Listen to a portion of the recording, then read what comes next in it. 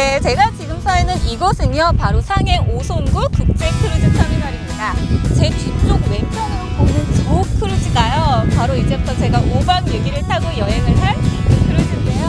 아, 앞에 서 있는 것만으로도 정말 기분이 너무너무 설레는데요. 그런데 크루즈에 탑승을 하기 전에 적법한 승선 절차가. 제가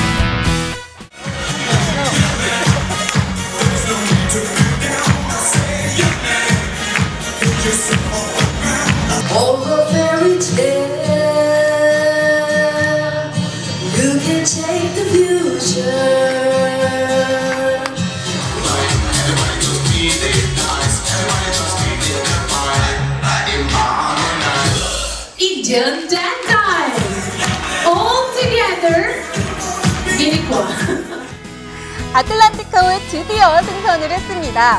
잠깐만 둘러봤는데도 시간이 빠르게 흘러갈 정도로 이- 이곳 내부가 아주 화려하고 참 볼거리가 많은데요. 앞으로 이곳에서 펼쳐질 경험들이 아주 기대가 됩니다. 자, 그런데 아틀란티카호를 충분히 즐기시기 위해서는 아직 한 가지 절차가 남아 있습니다. 바로 이 선상카드를 등록을 해주셔야 하는데요. 뒤편에 보이는 키오스크 기계를 이용을 하셔서 개인의 신용카드와 이 선상카드를 연동을 시켜주시는 건데요. 한국어 안내말이 있으니까 어렵지 않게 간단하게 이용을 하실 수가 있거든요.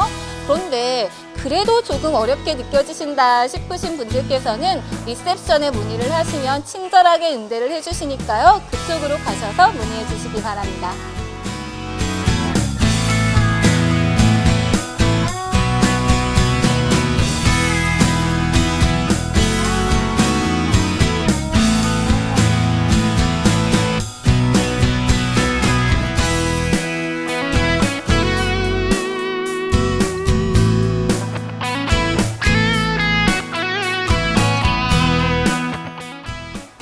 선실에 입실을 하시게 되면 침대 위에 선상 생활에 필요한 모든 것이 비치되어 있는데요. 바로 선상 카드와 안전훈련 카드, 그리고 선상 신문이 비치되어 있습니다. 그 중에서도 가장 중요한 게 바로 이 선상 카드인데요. 이 선상 카드는 신분증, 객실키, 그리고 선내 결제 수단의 세 가지 기능을 가지고 있습니다. 그리고 아래 보이시는 게 바로 안전훈련 카드인데요. 출항하기 전에 위급 상황에 대비한 안전훈련을 하실 때 지참하셔야 하는 카드입니다.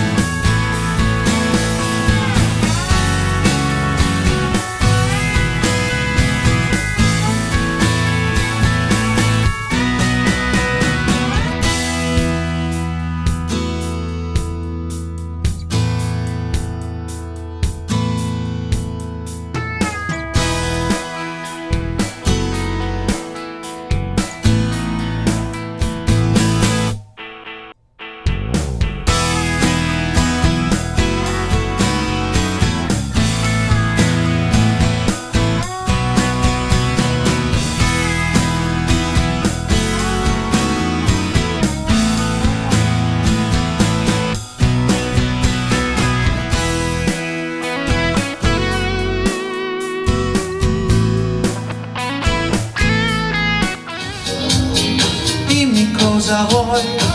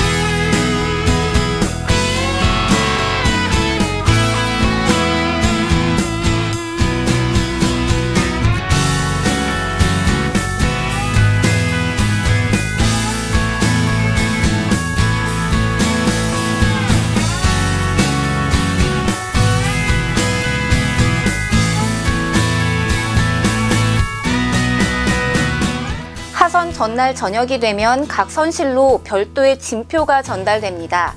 이 진표에 본인의 성함, 선실 번호, 그리고 전화번호를 정확하게 적으신 후에 짐에 붙여서 새벽 1시 전까지 선실 문 밖에 내놓으시면 되는데요. 이때 주의하셔야 할 점이 한 가지 있습니다. 끝쪽에 꼬리표가 보이시죠? 이 꼬리표는 떼어서 본인이 가지고 계셔야지만 수화물을 찾으실 수가 있으니까요. 이 점 잊지 마세요.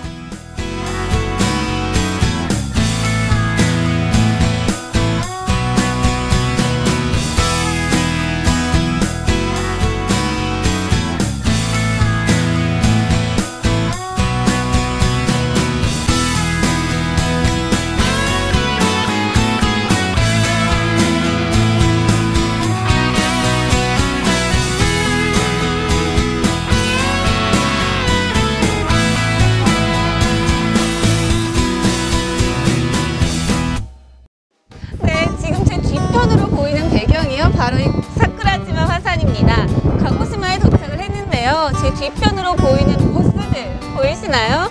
많은 관광객들이 오늘 하루 가고시마를 즐기기 위해 출발을 하고 있습니다.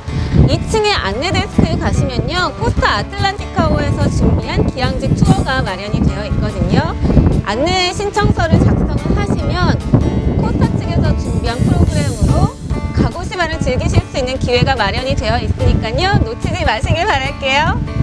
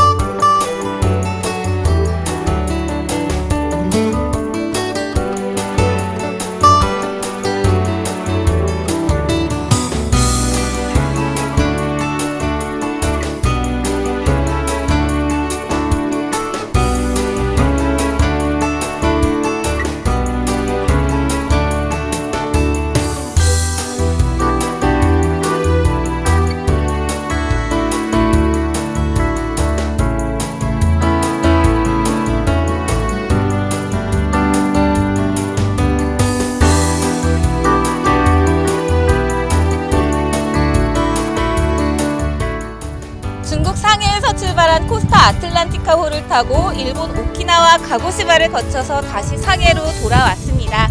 저는 하선을 해서 이제 여행을 마칠 준비가 끝났는데요. 어떠셨나요? 저와 함께한 크루즈 여행 즐거운 여행 되셨나요? 제가 몇 가지 알려드린 주의사항 잊지 않으셨죠? 꼭 유의하셔서 즐겁고 더 안전한 크루즈 여행 되시길 바랍니다.